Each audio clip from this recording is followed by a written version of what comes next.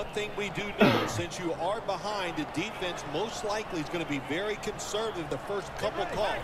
So make sure you have play calls to take advantage of the fact that they're going to be intercepted.